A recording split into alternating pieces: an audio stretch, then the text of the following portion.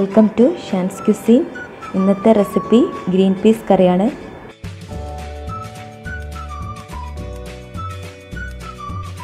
Ingredients നോക്കാം. Green peas അല്ലെങ്കിൽ പച്ചക്കടല. ഓവർനൈറ്റ് സോക്ക് ചെയ്ത് വെക്കണം. ഒരു two fifty gram green peas വെള്ളത്തിലിട്ട് വെച്ചിട്ടുണ്ട്. ഇനി വേണ്ടത് ഒരു സവാള അരിഞ്ഞത്. പിന്നെ ഒന്നോ രണ്ടോ ക്യാരറ്റ് ചെറുതാക്കി അരിഞ്ഞത്. പിന്നെ ഒന്നോ രണ്ടോ പൊട്ടാറ്റോ കഷ്ണങ്ങളാക്കിയത്. പിന്നെ വേണ്ടത് ഒരു മുറി തേങ്ങ ചിരവിയത്. പിന്നെ ഇതിലേക്ക് രണ്ടോ മൂന്നോ അല്ലി വെളുത്തുള്ളി പിന്നെ ഒരു പച്ചമുളക്. ഇനി ഒരു ചീനച്ചട്ടി എടുത്ത് ചൂടാക്കാം. അതിലേക്ക് കുറച്ച് വെളിച്ചെണ്ണ ഒഴിച്ചിട്ട് നമ്മൾ അരിഞ്ഞു വെച്ച സവാള ഇട്ട് കൊടുക്കാം. സവാള ഒന്ന് ഡാർക്ക് ആയതിനു ശേഷം അരിഞ്ഞു വെച്ച ക്യാരറ്റും പൊട്ടാറ്റോ ഇട്ട് കൊടുക്കാം. ഇതിലേക്ക് കുറച്ച് സാൾട്ടും ആഡ് ചെയ്യാം. ഈ സമയം കൊണ്ട് നമുക്ക് കടല വേവിച്ചെടുക്കാം. ഇപ്പോൾ കടല വേവിച്ച് വെച്ചിട്ടുണ്ട്. ഒരു നാല് അഞ്ച് വിസിൽ ഇതുവരെ കടല വേവിച്ചെടുക്കാം.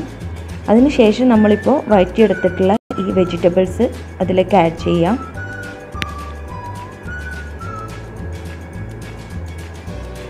വെജിറ്റബിൾസ് ആഡ് ചെയ്ത് കൊടുക്കാം.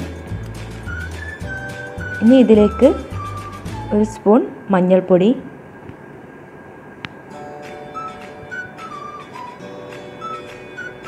പിന്നെ കുറച്ചുകൂടെ സാൾട്ട് ഇട്ട് കൊടുക്കാം.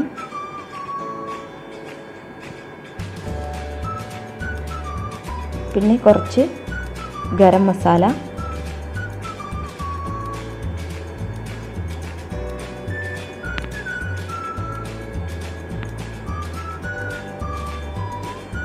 ഇത്രയും ആഡ് ചെയ്ത് കുക്കർ അടച്ചു വെക്കാം. ഇനി ഒരു രണ്ടോ മൂന്നോ വിസിൽ വരെ വെയിറ്റ് ചെയ്യാം.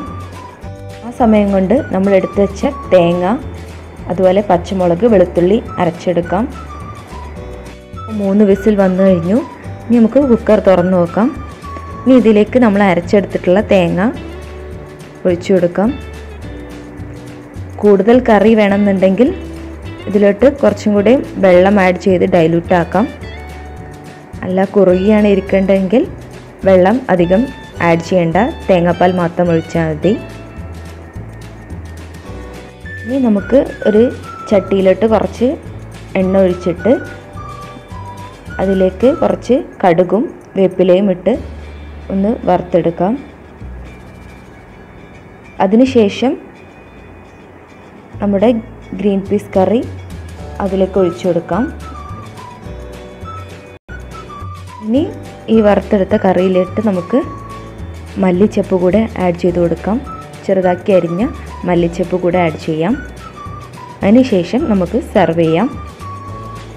അപ്പോൾ നമ്മുടെ വെജിറ്റബിൾ കറി അല്ലെങ്കിൽ ഗ്രീൻ പീസ് കറി റെഡി ആയിട്ടുണ്ട്. നിങ്ങൾക്ക് ചപ്പാത്തിയുടെ കൂടെ കഴിക്കാവുന്നതാണ്. അപ്പോൾ എല്ലാവർക്കും ഇഷ്ടപ്പെട്ടെന്ന് വിചാരിക്കുന്നു.